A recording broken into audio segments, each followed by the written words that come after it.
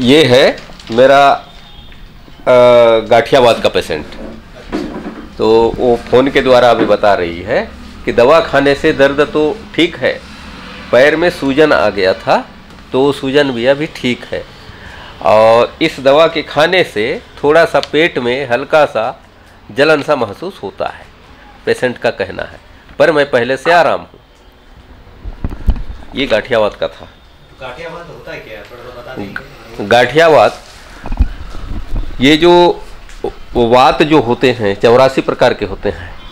चौरासी प्रकार के वात में आमवात जो पूरे शरीर में होता है, रसवात वो पूरे नसों के द्वारा होता है, जिसको नसवात भी कहते हैं। और अस्थिवात हड्डियों से दर्द होता है। फिर आपका हेडवात माने सिर दर्द वाला वात और होता है लकवे का वात। ये सभी प्रकार के दर्द है, वात में है तो ये चौरासी प्रकार के होता है। लेकिन ये चौरासी प्रकार के दर्द में ये चौरासी प्रकार के जो वात होता है, उसमें से मेन एक गाठियावात होता है। इस गाठियावात का लक्षण है, पूरे हमारे गांठ है, उंगली के गांठ है ये हाथों की गांठ है, पैर के गांठों है, सब में सूजन सा हो जाता है। और और दर्द बहुत ज़्यादा होता है। कई कई पेशेंटों का यहाँ जो हमारा ये जॉइंट है ना, इसमें कटोरियाँ होते हैं। यहाँ पर जो ग्लिसरीन होता है प्राकृतिक रूप से हमारा शरीर में, वो सूख जाता है। सूख जाने के बाद कभी कभी कट कट के आवाज़ भी करता है इस गांठ में। तो इसका जो इलाज है, हमारा प्राकृतिक जड़ी बूटी पारंपरिक तौर से हम इलाज करते हैं, इससे ठीक हो जाता है। ये है गाठियावाद।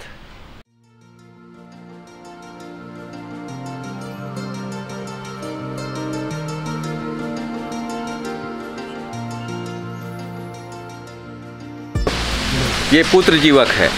ये बहुत दिव्य औषधि है। पुत्र जीवक इसीलिए नाम पड़ा, इसको संतानदाता भी कहते हैं। ये उसका फल है। इसी फल का चिरौंजी निकाल करके, इसके चिरौंजी और शिवलिंगी के बीच दोनों पीस करके हम निसंतान को देते हैं, जिसका निसंदेह संतान हो जाता है। कहना चाहिए निसंतान लोगों के लिए औषधि है। हेलो दोस्तों, मेरा नाम है प्रमोद और आप देख रहे हैं बस्तर वाले।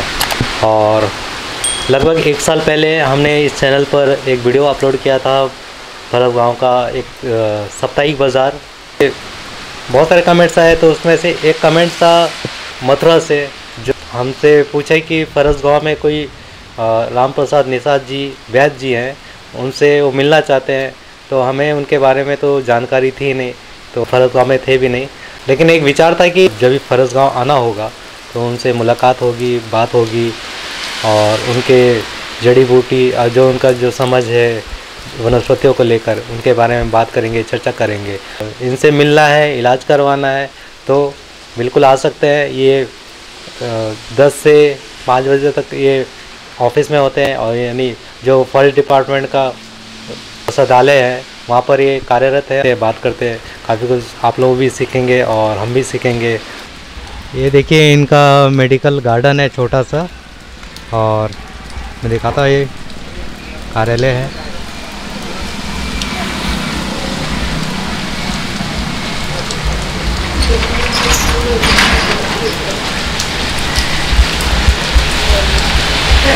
राम प्रसाद निषाद, मेरा निवास जुगानी कलार में है और ये जो वन औषधालय है 2003 में स्थापित हुआ। इसके पहले हम अपने घर में इलाज करते थे, क्योंकि हम परंपरागत चिकित्सा, परंपरागत जड़ी बूटियों से हम इलाज करते हैं। ये इलाज हमारा दादा, परदादा, हमारे कई पीढ़ियों से परिवार के लोग करते आ रहे हैं। विशेषकर गाठियावाद शुगर सिकल सेल और जिनका किडनी फेल हो गया है, किडनी प्लांट कराना होता है, उसमें बहुत सारा खर्चा आता है। ऐसे पेशेंट भी हमारे यहाँ आते हैं जो जिनका डायलिसिस चलता है, पंद्रह दिन, एक हफ़्ता में डेली डायलिसिस से परेशान रहते हैं। ऐसे पेशेंट हमारे यहाँ आते हैं। और हमारे यहाँ के इलाज से पूरे पूरे लाभ ले रहे हैं।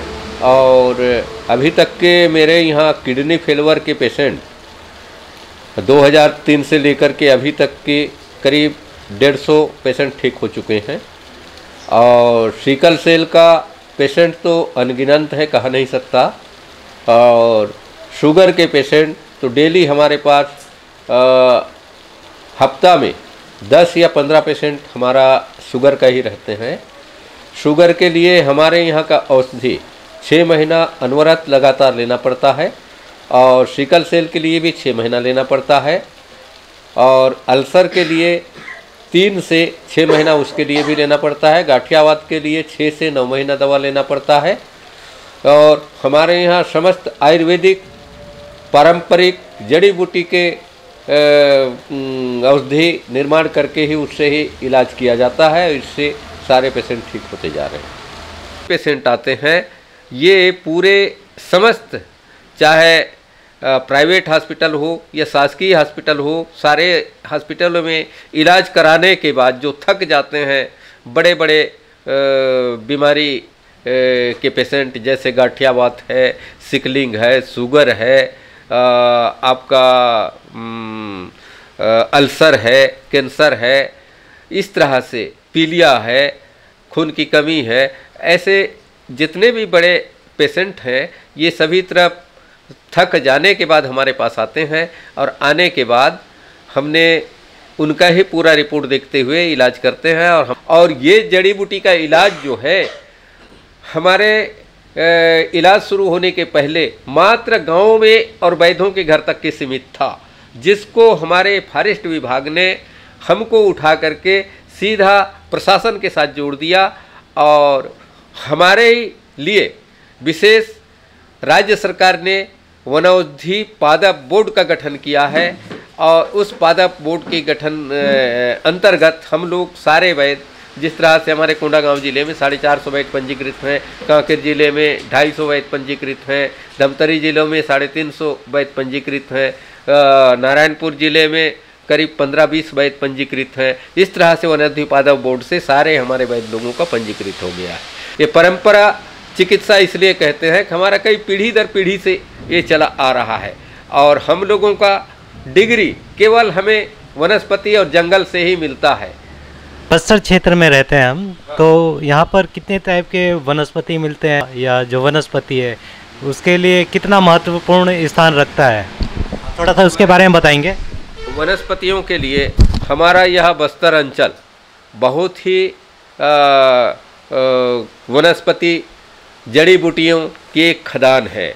यहाँ पर कुछ दिन पहले आ, हमारे यहाँ और भी प्रचुर मात्रा में जैसे रासना है और मालकांगनी है, बहुत बहुमूल्य ये औषधियाँ हैं, हमारा सतावर है, ये सारे यहाँ मिलते थे।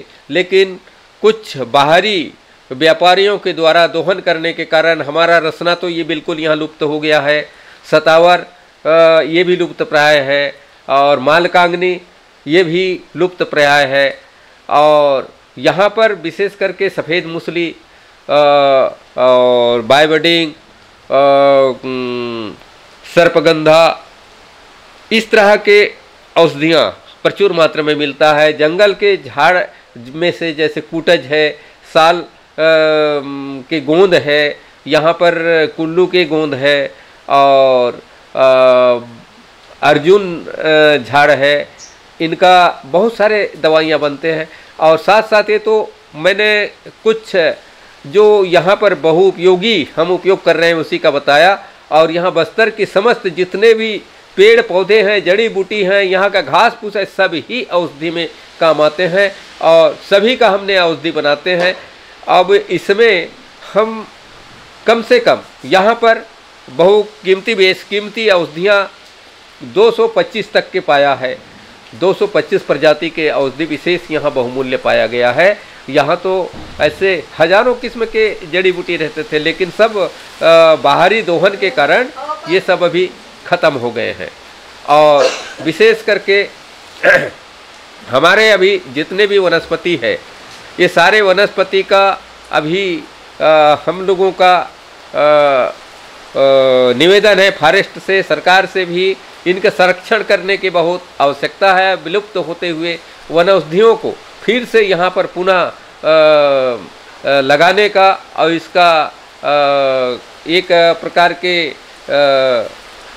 कृषिकरण में भी इसको स्थान देने का बहुत ज़रूरी हो गया है। जो वनस्पति है, इसके बारे में आप लोगों को बहुत सारी जानकारी है। तो इस तरह के जो कार्यशाला है, जो बच्चे या जो भी सीखना चाहते हैं इस पद्धति को तो उसके लिए आप लोग कोई कार्यक्रम आयोजित करते हैं जिससे कोई इससे अपना जो समझ है ज्ञान है वो बढ़ाना चाहता है? तो आपसे अगर कोई पूछे कि मुझे सीखना है जानना है तो आप उस उस बारे में क्या सोचते हैं? थोड़ा सा बताएँगे। हाँ, इस विषय में हमारे विभाग के द्वारा फॉरेस्ट विभाग के द्वारा समय समय पर कार्यशाला रखा जाता है और इस कार्यशाला में समस्त वैद्यों को आह्वान किया जाता है और वहाँ पर विशेष जो प्रशिक्षित वैद्य हैं या विशेष ज्ञान वाले वैद्य हैं, इनके द्वारा प्रशिक्षण दिलाया जाता है जिससे कि नए आने वाले वैद्य भी इसको सीखते हैं और हमारे आने वाली पीढ़ी भी इससे ज्ञान पाते हैं, सीखते हैं। और हमारा प्रयास है कि विशेष कि फॉरेस्ट विभाग या हमारा राज्य शासन के द्वारा भी समय समय पर ये कार्यशाला प्रशिक्षण के लिए रखें और रख करके हमें मार्गदर्शन देते रहें। ये सुझाव हम प्रशासन को भी भेजा है, प्रशासन को दिया है और विभाग को भी देते रहते हैं। अभी पिछले तीन महीना पहले हमारे यहाँ कांकेर वृत्त के सीएफ साहब से चर्चा हुई है और सीएफ साहब ने दो दिवसीय कार्यशाला हमारा केसकाल डिवीज़न के अंतर्गत एक जिसको कहते हैं टाटा मारी टाटा मारी एक दार्शनिक स्थल है। वहाँ पर दो दिवसीय कार्यशाला रखने का उन्होंने घोषणा किया है और जहाँ तक के ये अप्रैल में ये कार्यशाला हो जाना है पूरे संभाग के वैद्यों को वहाँ बुलाया जाएगा।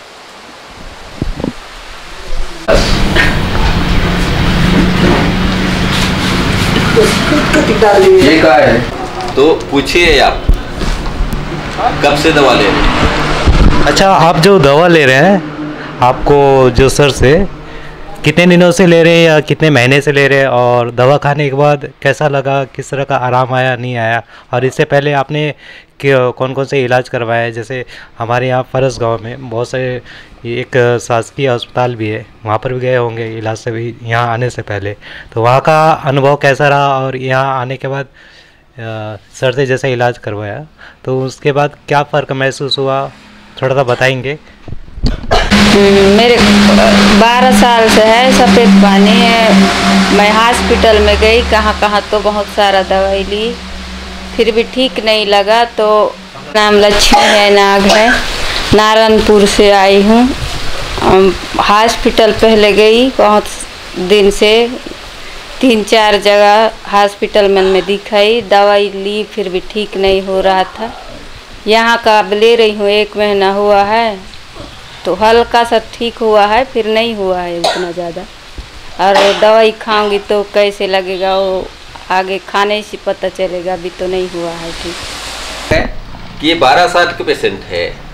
अब 12 साल के बाद इन्होंने हमारे पास पूरे अस्पताल घूम के आई तो आने के बाद हमारे यहाँ के दवाई से इनके कहने के अनुसार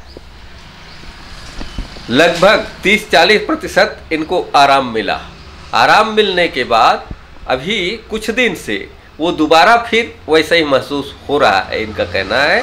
तो इनका कोर्स होता है तीन महीना से छः महीने का। तो हमने इनको तीन महीना बताया था, पर अब लग रहा है आज इनकी नाड़ी से पता चलता है कि इनको लंबा लेना पड़ेगा। छः माह तक की दवा लेना पड़ेगा और ये बीमारी जड़ से इसको ख़त्म होना पड़ेगा। हमारे पास जो भी पेशेंट आता है इस तरह से बड़ा पेशेंट है, जैसे श्वेत प्रदर बहुत बड़ा बीमारी है गाठियावाद बहुत बीमारी है सिकलिंग शुगर ये बहुत बड़े बीमारियाँ हैं। ये पेशेंट हमारे पास डायरेक्ट नहीं आते, ये पूरे अस्पताल में इलाज कराने के बाद जो वहाँ थक जाते हैं, उसके बाद ही वो यहाँ आते हैं। तो हमने पेशेंट से पूरा उनके शासकीय पैथोलॉजी रिपोर्ट पूरा देखते हैं और उसके आधार पर हमने यहाँ इलाज देते हैं। जैसे इनका हमने पिछले महीना में रिपोर्ट पूछा, रिपोर्ट दिखाए, और उसके बाद इनका इलाज हमारा शुरू हुआ है।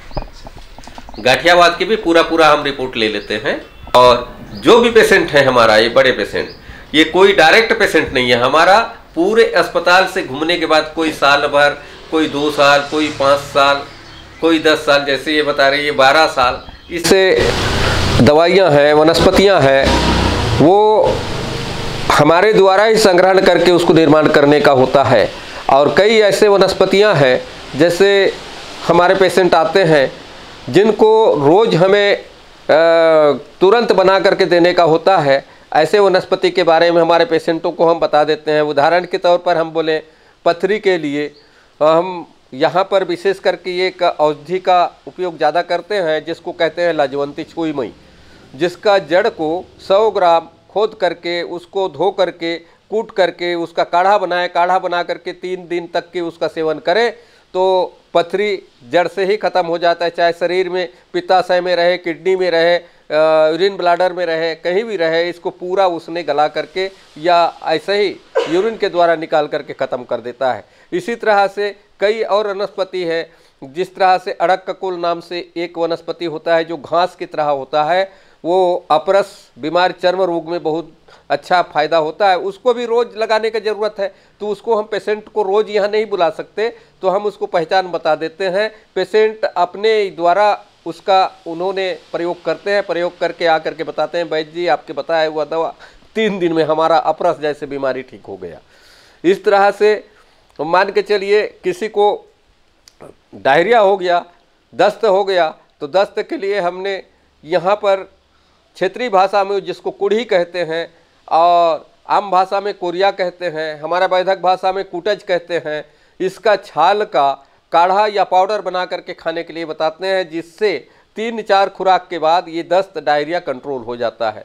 और पेचिस जैसे एक बहुत बड़ा बीमारी है, जिस पेचिस की बीमारी से गवर्नमेंट भी थर्रा जाती है, प्रशासन भी थर्रा जाती है, हमारा विभाग भी थर्रा जाती है। इस पेचिस को रोकने के लिए नीलगिरी नामक एक वनस्पति है, नीलगिरी का झाड़ होता है, उसका जो गोंद निकलता है, इस गोंद को हमने दो दो रति के मात्रे में खाने के लिए बताते हैं। इसको पाँच छः खुराक खा लेता है तो ये आँव दस्त पेचिस खूनी दस्त जो है, ये तुरंत ठीक हो जाता है। इसी तरह से पतला दस्त में ये जो साल का गोंद है, जिसको हम धूप के नाम से भी जानते हैं, जिसको राल भी कहते हैं, ये, इसका पाउडर एक चम्मच हम बना करके खाते हैं तो पतला दस्त जो है, डायरिया है, तुरंत कंट्रोल हो जाता है। और साथ साथ इस राल को हम श्वेत प्रदर के जो पेशेंट हैं, इनको भी हम उनके दवाइयों में मिला करके देते हैं सफ़ेद प्रदर को कंट्रोल करने के लिए। ये राल बहुत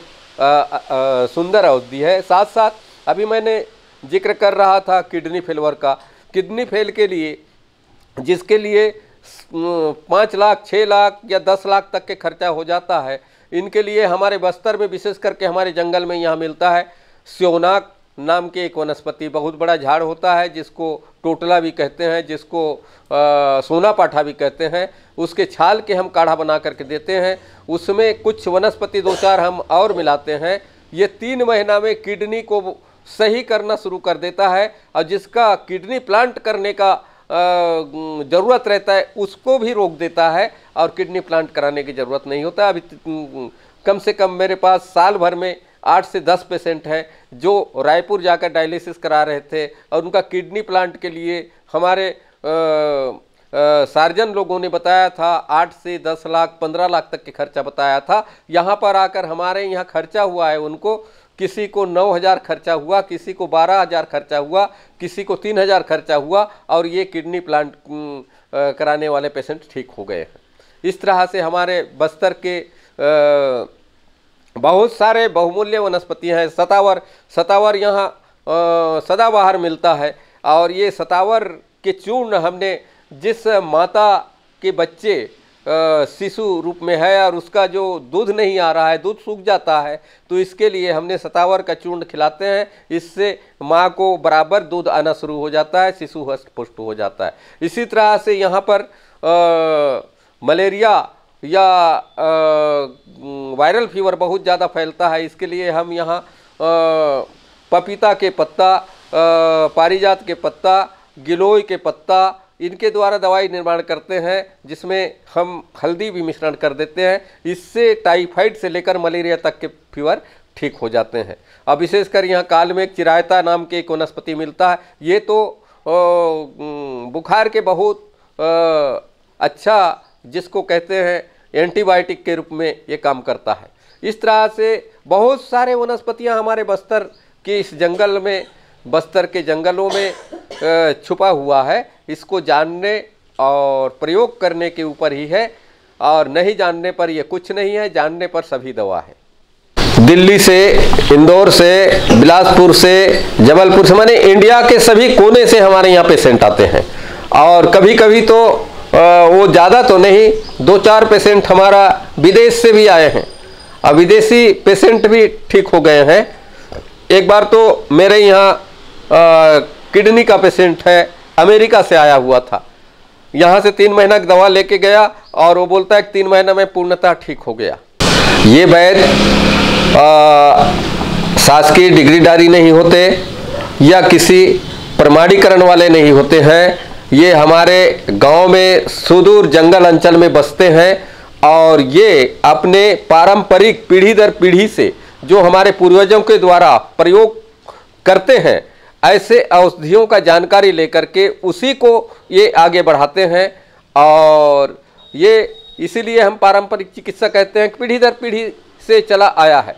और इसमें हमारा जो पेशेंट ठीक हो जाता है वही हमारा प्रमाण है और सारे वनस्पतियों के द्वारा हम इलाज करने सीखते हैं, इलाज का अनुभव करते हैं, जिस भी वनस्पति को नया पकड़ते हैं हम तो उसका हम पहले दवाई बना करके लोगों के ऊपर पहले परीक्षण करते हैं, उसके बाद ही इसको हम चिकित्सा में उतारते हैं। इस तरह से हमारा ये परंपर पारंपरिक चिकित्सा अनवरत चलता है और चल रहा है। जन साधारण में भी इसका प्रचार प्रसार करते हैं।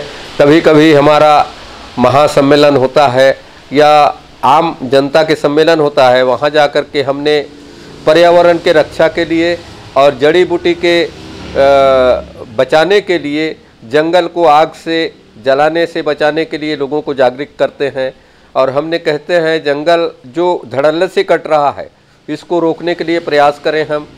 यदि हम अपने गाँव में, अपने